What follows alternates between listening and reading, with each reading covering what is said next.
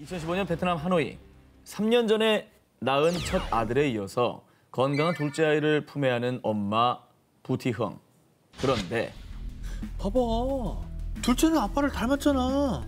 아, 첫째는 대체 누구 닮은 거야? 둘째와 달리 유독 부모를 닮지 않은 첫째 아이. 사람들이 하도 수군대자 부티흥의 남편은 아내의 외도를 의심해 첫째 유전자 검사를 의뢰했습니다. 불안하다. 그런데 정말 충격적이게도 첫째 아이와 자신의 DNA는 불일치. 아이고. 아, 이거 뭐 남편의 의심이 사실이었던 거예요? 얼마나 시가 떨렸겠습니까? 본인 DNA가 아니었습니다. 이 결과에 아내 부티영은 억울함을 호소했습니다. 하지만 분노한 남편은 이혼을 통보했죠. 결국 홀로 첫째를 키우며 살게 된 부티흥. 뭐야? 그런데 3년 뒤인 2018년 부티흥에게 청천벽력 같은 일이 발생했습니다.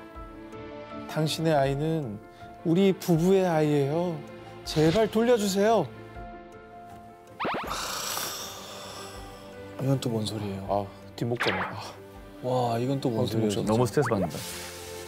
이 두 가족에게 일어난 비극은 6년 전 한 끔찍한 실수에서 시작됐습니다. 2012년 베트남 하노이의 한 병원 부티용 부부와 풍지앙선 부부는 20분 간격으로 각각 아들을 출산했습니다. 그런데 이때 병원의 어처구니 없는 실수로 두 신생아가 뒤바뀌는 비극이 발생한 것이죠. 근데 이제 와서 어떻게 한 거예요, 이거를? 이게 6년 만에 어떻게 알고 찾아온 거예요? 자, 풍지한선 부부 역시요. 부모와 닮지 않은 아이의 외모 때문에 서로를 의심하며 갈등을 겪어왔다고 합니다. 두 가정을 아주 X를 냈고. 자, 그런데 이건 또 무슨 운명의 장난이었을까요? 부부의 지인이 다른 동네에서 남편과 닮은 아이를 봤다며 사진을 찍어서 보여줬고 결국 풍지한 선 부부는 유전자 검사를 통해 자신의 아이가 친자가 아니란 걸 알게 된 것이죠. 이게 또 무슨 운명의 장난이에요. 어, 저 애는 어떻게 해, 그러면 이제? 자기 엄마 아빠라고 생각하고 6년을 살았는데 저 애는 어떻게 해? 정말 이때부터가 가슴 찢어지는 일인 게요. 기른정을 또 어떻게 막겠습니까? 그러니까. 6년간 아들을 키운 모정 때문에 아이를 보낼 수 없다고 눈물로 호소한 엄마 부티흥. 하지만 결국 2018년 7월 두 부모는 서로의 친자녀를 데려갔습니다. 지금은 두 가족이 근처 지역에서 서로 왕래하며 살고 있다고 합니다.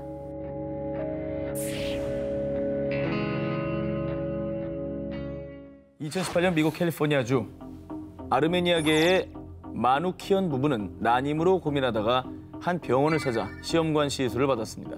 하지만 안타깝게도 좀처럼 아이는 찾아와 주지 않았습니다. 그런데 2019년 7월 기자회견을 열고 충격적인 사실을 밝힌 마누키언 부부. Shaw robbed me of my ability to carry my own child, my baby boy. 이건 또 뭔 소리예요? 임신이 안 됐다고 했는데 뭐야 또 뺏어? 이게 뭐예요, 이게? 이 끔찍한 사건의 발단, 마누키언 부부가 시험관 시술을 받은 그때 마누키언 부부와 같은 병원에서 시험관 시술을 받은 A씨 부부. 안타깝게도 마누키언 부부는 시술에 성공하지 못했지만요. A씨 부부는 시술에 성공. 그토록 기다리던 귀여운 쌍둥이를 출산했습니다. 음. 그런데 말입니다. 쌍둥이들을 보고 깜짝 놀란 A씨 부부. 그 이유는 병원에선 분명 여자 쌍둥이라고 했는데요. 출산한 아기가 남자 쌍둥이였으며 게다가 외모도 너무나 달랐다는 겁니다. 그 뒤 쌍둥이들의 유전자 검사를 한 A씨 부부. 그런데 쌍둥이들은 A씨 부부와 생물학적으로 전혀 관계가 없었습니다. 아, 이게, 이게 뭐야 이게 이게 와. 심지어 A씨가 낳은 쌍둥이 중 한 명은 마누키언 부부가 아닌 또 다른 부부의 배아였다는 겁니다. 뭐야, 이게 뭐야, 이게? 도대체 어디서부터 잘못된 거야? 너무 이제 분노 지수가 높아지죠, 사실은. 네. 자, 이게 어떻게 된 일이냐? 시험관 시술을 시행한 병원 측의 과실로 두 쌍의 부부가 유전자를 제공하고요. 또 다른 한 쌍의 부부가 대리모 역할을 와, 했던 것이죠. 대리모. 아니 무슨 와. 야, 말도 안 된다, 진짜. 말이 아우. 되냐 말이? 아 물론 저 부부도 뺏긴 아이에 대한 어떤 그런 분노가 있겠지만 이게 정말 낳고 키운 정이라는 게 있단 말이죠. 그 낳은 부모는 지금 뺏기는 거예요. 내가 낳은 애를. 낳자마자. 그러니까 이 세 부모가 다 지금 난리가 난 거예요. 다. 인생을 망가뜨린 거지.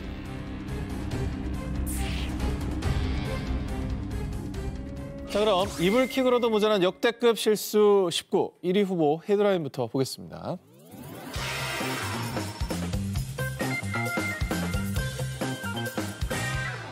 (2010년 2월 24일) 열린 (2010) 밴쿠버 동계 세계 스포츠 대회 스피드 스케이팅 남자 1000m 경기 사람들은요 빙속 황제 네덜란드 스벤 크라머 선수가 당연히 금메달을 차지할 것이라고 예측했는데요. 경기가 시작되자 무서운 속도로 빙판 위를 질주한 크라머 선수 2등보다 무려 4.05초나 빨리 결승선을 통과. wow. 와. 올림픽 신기록을 세우며 기쁨의 만세를 불렀습니다. 그런데 말입니다. 몇 분 뒤 스피드 스케이팅 남자 1000m 메달 수여식에서 금메달을 목에 건 주인공은 크라머 선수가 아닌 왜? 대한민국의 이승훈 선수였습니다. 맞아. 이거 사실 이승훈 선수가 깜짝 금메달 하면서 어? 맞다. 크라머 선수가 4초가 넘게 빨리 들어왔는데 맞아. 금메달이 아닌 이유. 스피드 스케이팅의 경우에는 인코스와 아웃코스를 번갈아 타는 게 규정이지 않습니까? 그렇죠, 그렇죠. 그런데 경기 도중 크라머 선수가 단 8바퀴를 남겨둔 상황. 이때 아웃코스로 향하던 크라머 선수는요. 게라드 캠캐스 코치의 인코스 사인을 보고 급하게 인코스 레인으로 들어가 쾌속 질주를 합니다. 그런데 사실 이때 크라머 선수는 아웃코스를 탈 차례였습니다. 아이고야. 결국 인코스를 두 번 탄 크라머 선수는 최종 실격 처리가 되고 만 거죠. 그러니까 룰을 저 어긴 거구나 본의 아니게. 근데 원래 코치가 그거 하거든요, 사인을. 코치가 헷갈린 거네요. 당시 캠캐스 코치는 크라머 선수에게 2위인 이승훈 선수와의 시간차를 알려주려고 지시판에 글을 쓰다가요. 크라머 선수가 이미 아웃코스로 레인을 바꾼 것을 못 보고 인코스로 옮겨 타야 한다고 착각한 겁니다. 경기 후 캠캐스 코치는 모두 제 실수고 제 책임입니다. 형편없는 실수를 저지르고 말았습니다. 라며 자신의 실수를 인정하고 자책했습니다. 이후에 이 코치와 선수는 어떻게 됐을지 궁금한데요. 이미 벌어진 일입니다. 이 일로 좋은 지도자와 헤어질 수는 없습니다. 계속해서 캠캐스 코치와 함께 하겠다고 밝혔습니다. 그리고 뭐 무엇보다 코치 실수로 룰을 어겼다고 하지만은 스포츠의 룰이 또 중요한 거잖아요. 그 규칙을 다 지키는데 혼자만 예외가 될 수 없고요. 끝까지 룰을 지켜서 열심히 탄 이승훈 선수도 충분히 금메달 자격이 있는 것 같습니다. 당연하죠. 그럼요. 당연하죠. 네. 네. 그리고 이후 캠캐스 코치의 지도 아래 맹 훈련을 펼친 크라머 선수는요. 2014 소치 동계 세계 스포츠 대회에 출전해서요. 올림픽 신기록을 기록, 금메달을 목에 거는 기염을 토했습니다. 비온 뒤에 땅이 굳듯 오랜 믿음과 의리로 실수를 이겨낸 크라머 선수의 아름다운 금메달이었습니다. 지난 1월 29일 오후 10시경 글로벌 전자기업 소비 차이나의 공식 SNS에 공지가 올라왔습니다. 오늘도 회사에서 밤새겠네. 야 근데 내 연차는 멍멍이가 먹어버렸나? 입사한 지 1년 6개월이 됐다는 직원이 회사 시스템에는 연차가 0으로 기록돼 있죠. 이거 와 어우, 아찔하다. 자, 소비 차이나의 공식 SNS를 관리하는 홍보팀 직원 A씨가요. 회사 시스템에 본인의 연차가 누락된 걸 알고 자기 개인 SNS에 신세 한탄을 한다는 게 그만 본인 계정으로 착각을 해서 회사 뒷담화 글을 올린 겁니다. 아유, 아, 이거 와 내가 다 끔찍하다. 아, 내가 다 식은땀이 나네. 와 자, 이거는요. 아. 아시겠지만 올렸다가 아이고 지워도 그만 퍼집니다. 그렇죠. 저 어떻게 어떻게 됐어요, 저 사람? 몇 시간 뒤 해당 글을 빛처럼 삭제시킨 소비 차이나 그리고 다음 날 아침 7시 아, 홍보팀 직원이 계정 바꾸는 걸 깜빡했습니다. 회사 연차 시스템도 고장이 나서 발생한 일입니다. 그리고 다행히도 당시 누리꾼들이 쉴드까지 쳐줬으니 그 직원 절대 해고하면 안 됨. 1년치 광고보다 이번 해프닝이 홍보 효과가 더 컸어요. 참 다행이다. 라며 실수한 직원을 감싸줬다고 합니다. 제가 볼 때는 그날 밤에 일단 자기 개인 계정은 탈퇴하고 삭제했을 겁니다. 아마. 와 저거 어떡하냐 저 사람 진짜. 여러분 실수 안 하고 사는 사람 없다지만 은 그래도 조심 또 조심. 특히 뒷담화는 더욱 조심입니다. 자, 그럼 오늘의 데스크 황성규 기자님을 영상으로 만나보겠습니다. 안녕하세요. 안녕하십니까. 안녕하세요. 자, 오늘 저희 기사에 대한 총평 부탁드리겠습니다. 네, 살다 보면 정말 많은 실수가 일어납니다. 뭐 가볍게 웃어넘길 수 있는 실수가 있는 반면에 앞선 사례에서처럼 실수로 인해서 때로는 끔찍한 결과로 이어질 수 있다는 점은 반드시 명심해야 할 것입니다. 오늘 1위 기사 발표해 주시기 바랍니다. 1위는요.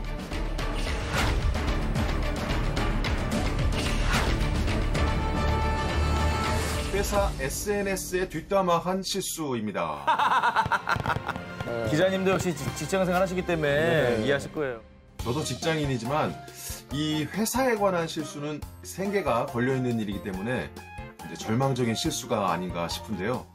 저도 예전에 개인적으로 이제 모 선배 뒷담화를 하다가 그 선배에게 그만 그 메시지를 보내버리는 실수를 한 적이 있습니다. 아직까지도 수습이 안 되고 있습니다. 여러분 직장 생활, 사회생활 오래 하셔야죠. 절대 조심하시길 바랍니다. 자, 오늘 프리한데스크 황성규 기자님 고맙습니다. 고맙습니다. 2018년 7월 미국 뉴욕에 사는 슈렐 파월에게 한 통의 전화가 걸려왔습니다. 여기 뉴욕의 병원인데요. 아, 빨리 병원으로 오셔야 할 것 같아요. 그런데 이 전화 때문에 그녀는 평생 지울 수 없는 죄책감을 안게 됐습니다. 무슨 일이에요? 뭔데? 당시 병원에서 온 전화는 그녀의 남동생인 윌리엄스가 약물 과다 복용으로 뇌사 상태에 빠졌다는 충격적인 소식이었는데요. 병원 측에서는 윌리엄스의 지갑에서 찾은 신분증, 사회보장카드를 보고 누나인 파웰에게 연락을 했다고 합니다. 그리고 그녀가 병원에 도착했을 땐 남동생 윌리엄스는 튜브에 의지한 채 의식 없이 누워 있었는데요. 누나 파웰은 매일 병실을 지키면서 남동생 간호에 매진했지만 시간이 지나도 동생 윌리엄스는 깨어날 기미를 보이지 않았다고 합니다. 결국 그녀는 가족들과 상의한 끝에 남동생의 생명 유지 장치를 제거, 안락사라는 힘겨운 결정을 내리게 됩니다. 아이고. 아무튼 뭐 그 결정하기까지 그 가족들도 너무나 고통받고 또 괴롭고 슬펐을 것 같아서 그 마음이 이해가 되기도 하네요. 자, 그런데 파웰은 남동생의 장례를 준비하던 중 남동생의 부검을 실시한 검시관으로부터 충격적인 소식을 전해 듣게 됩니다. 사망하신 분은 당신의 가족이 아닙니다. 이건 또 뭐예요? 이게 이게 뭐야? 그 지금 생판 모르는 사람 안락사라고 동의한 거야 자기가? 아니 간호도 했다며. 이 황당한 일이 발생한 이후 병원에서는 의식이 없는 환자가 실려오자 사회보장카드에서 신원을 확인하고 우선 병원의 진료 기록을 찾아봤는데요. 진료 기록이 남아 있었습니다. 어. 그런데 거기서 끔찍한 실수가 벌어지게 됩니다. 파웰의 진짜 남동생 이름은 프레드릭 윌리엄스. 그런데 실려온 환자 이름은 프레디 클래렌스 윌리엄스. 그러니까 사회보장카드와 진료 기록 이름을 대충 보고 같은 사람으로 판단했던 것이죠. 그 뒤 병원 측은 엉뚱한 가족에게 연락을 했던 겁니다. 아니 잘못 볼 게 따로 있지 환자가 아픈 사람을 그리고 저 윌리엄스라는 이름이 한둘이에요? 윌리엄스는 진짜 많은 너무 이름이 많잖아요. 더 면밀히 체크했어야죠. 그러니까요. 아니 게다가 지금 저희가 알다시피 중대한 결정을 내린 뒤잖아요. 안락사. 그 뒤에 이런 사실을 통받는 게 참. 자 그리고 당시 파웰의 진짜 남동생 윌리엄스는 교도소에 수감 중이었다고 합니다. 아. 연락을 몇 주간 하지 못한 상황에서 이런 일이 벌어진 것이죠. 어, 진짜 너무 황당하다. 아니 그리고 사실 뭐몇 간호를 했으면 얼굴은 알아볼 수 있잖아요. 그 나도 그 생각도 했는데 왜 그랬지? 뇌사 상태였잖아요. 그 생명 유지 장치까지 해서 얼굴도 제대로 확인을 못했던 것 같습니다. 얼굴 안 닦아졌네. 진짜.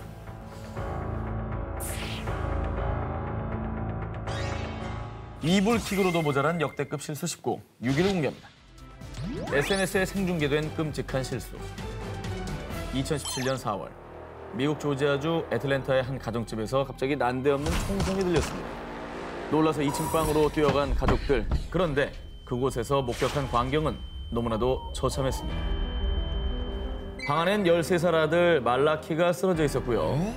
바닥엔 피가 흥건했습니다. 급히 말라키는 병원으로 이송됐지만 안타깝게도 숨을 거두고 말았습니다. 아니 대체 무슨 일이 있었던 거예요? 뭐 강도가 들어왔나요? 그렇게 예상할 수 있죠. 말라키는 SNS 생방송을 통해 친구들과 대화를 하고 있었습니다. 그런데 그의 손에 들려 있는 것은 9mm 구경의 권총이었습니다. 아, 저 총이 어디서 난 거예요, 애가? 그런데 당시 말라키의 방송을 보던 친구들은요. 에이 총알도 없는 게 무슨 총이야? 말라키 총알 한번 넣어봐. 결국 말라키는 친구들의 말대로 총에 총알을 장전하고 말았습니다. 그러다 결국 총을 잘 다룰 줄 몰랐던 말라키가 그만 총구가 자신의 머리를 향한 줄도 모른 채 방아쇠를 당기고 만 것이죠. SNS 라이브 방송을 보고 있던 50여 명의 친구들은 이 끔찍한 상황을 전부 생중계로 지켜봤습니다. 저걸 직접 본 아. 친구들 얼마나 또 충격이 클까요? 이후 13살 소년 말라키의 안타까운 죽음은 생방송 중 실수로 자살한 소년이라며 미국 전역에 보도됐고요. 한편 한순간에 정말 어이없이 아들을 떠나보낸 말라키의 엄마는요. 아들을 이렇게 잃게 되다니 도저히 믿을 수 없어요라며 울분을 터뜨렸다고 합니다. 대응책을 꼭 마련해서 문제를 해결해야 될 것 같아요. 10대들의 위험한 장난에서 비롯된 비극. 또다시 이런 안타까운 사건이 발생하지 않도록 좀 더 강력한 대책이 필요해 보입니다. 이불킥으로도 모자란 역대급 실수 19 5위 공개합니다. 입시생을 사지로 몬 최악의 실수.